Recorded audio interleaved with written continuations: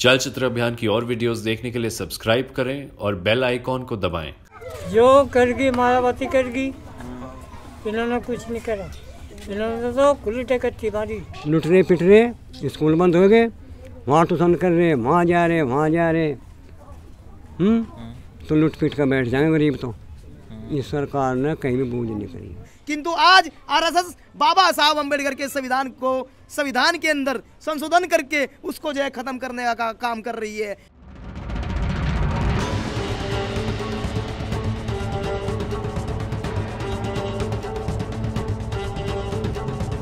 नमस्कार साथियों, चलचित्र अभियान में आप सभी का स्वागत है। आज हम बुढ़ाना विधानसभा सीट के काकड़ा गाँव में पहुँचे हैं। पश्चिम उत्तर प्रदेश के पहले चरण का चुनाव 10 फरवरी को है और आज हम गाँव काकड़ा जो कि बुढ़ाना विधानसभा सीट के है उस गाँव में हम आए हैं। इनसे बात करते हैं और जानते हैं कि चुनाव को लेकर इस बार उनके क्या मुद्दे रहेंगे।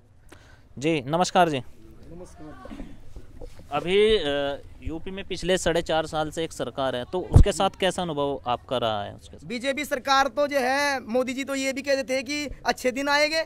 मोदी जी तो ये भी कहते थे कि हर प्रतिभाषी व भांति वर्ष हम जो है दो करोड़ नौकरियाँ देंगे, रोज़गार देंगे, सबका साथ और सबका विकास। मोदी जी, आपने सबका साथ और सबका है, ये ये विकास नहीं किया। आपने सबका साथ और सबका नाश किया है मोदी जी। तो आप ये बताइए कि कहाँ यानी कि मोदी जी के अच्छे दिन है? मोदी जी तो ये कहते थे कि हम हम जो है यानी कि हर एक प्रत्येक जो व्यक्ति है भारतीय जो नागरिक है उनके खाते में हम जो पंद्रह पंद्रह लाख रुपया देगा। आया? आपके खाते में क्या पंद्रह पंद्रह लाख रुपया आया?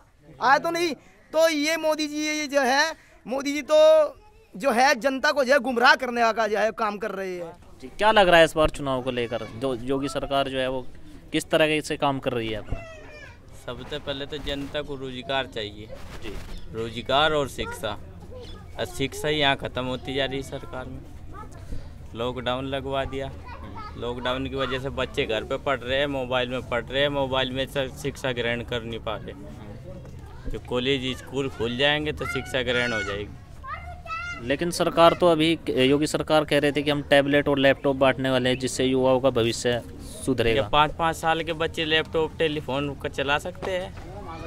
ये तो स्कूल में जाएँगे तो पढ़ेंगे तो जब मास्टर जी पढ़ाएँगे सामने बैठकर तो शायद सीख सा पाओगे। क्या लग रहा है चुनाव को लेकर इस बार? चुनाव के लिए तो लग रहा हम तो देख एक डब्बा भट्टा है। अच्छा। हाँ। किधर एक एक तरफा किधर?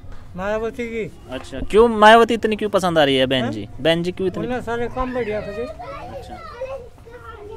मेरी पसंद का कोई काम नहीं करा। जो करगी मायावती करगी। इन्होंने कुछ नहीं करा। इन्होंने तो खुली टेकट्टी मारी हमें एक को तो बता दो दो नंबर तो छूट और काजू सर्विस पर जा रहा। तीन बच्चे मेरे यहाँ पढ़े हुए हैं अच्छे पढ़ रहे हैं। लुट रहे पिट रहे स्कूल बंद हो गए वहाँ ट्यूशन कर रहे वहाँ जा रहे वहाँ जा रहे। हम्म? तो लुट पिट कर बैठ जाएँगे गरीब तो। इस सरकार ने कहीं भी बूझ नहीं करी। हमारी लड़की का एक नंबर आ गया बैठे बूझ रहा एक नंबर तक हटा दी। एक नंबर तक। एक नंबर तक कटता देखा नौकर कहीं? नहीं। पहले पाँच नंबर प्रमोशन के मिल जाते। अरे इन्ना में एक बिन दिया। रामसरण के लमडी का और टीवी पर दिखा दी। बंजी हमारा तो कोई ना नौकर ना कोई चाकर अपने। हम बैठे फानस मारी हमारे बच्चे हैं। कोई सब्ज़ी बेच रहा है कोई डांगर चुगा रहा है कोई कुछ करा ना गुजारा कर योगी जी ने अभी एक घोषणा की थी दावा भी किया है कि हमने साढ़े चार साल में साढ़े चार लाख सरकारी नौकरी हमने जो है भारत उत्तर प्रदेश के ये युवाओं को लोग दी कितने यहाँ लोग खड़े हैं बताओ किसकी एक भी सरकारी नौकरी है किसको रोज़गार मिला बताओ। देख लो कितने लोग हैं एक का भी नौकरी पर नहीं गया यहाँ पिछले जो पेपर यूपी टेट हो या उससे पहले जो पेपर हो ये पेपर जो लीक होते हैं इनका क्या कारण है? क्यों ये इस पेपर ये लीक किए जाते हैं?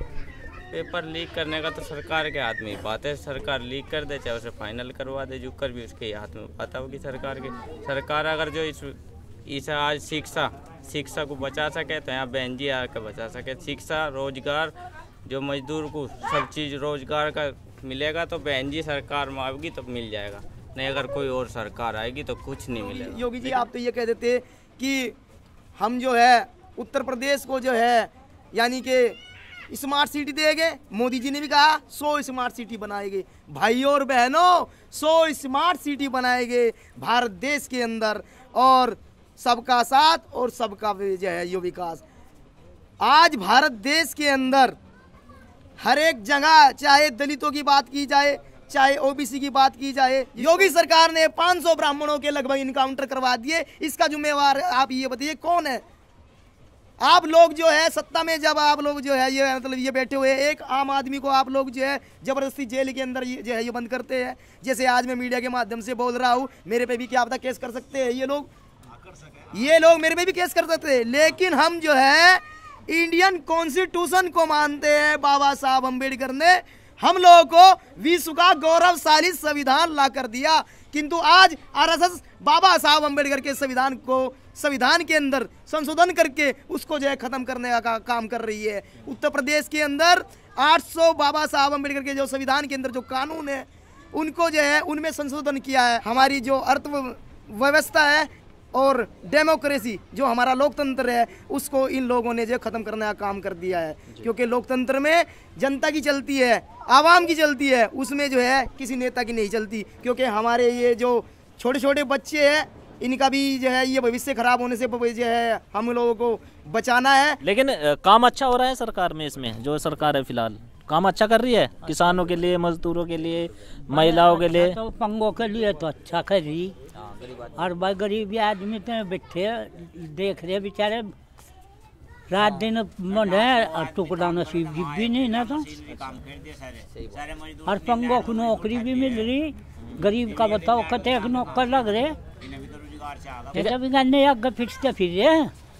हम अभी बुढ़ाना विधानसभा सीट के कांगड़ा गाँव में से हमने यहाँ गाँव वालों से बात की है। गाँव वालों का कहना है कि हम इस सरकार में सिर्फ़ महँगाई और बेरोजगारी बढ़ी है तो इस बार हम बदलाव चाहते हैं। 2022 चुनाव की खबरें देखने के लिए जुड़े रहे चलती दरबियान के साथ धन्यवाद।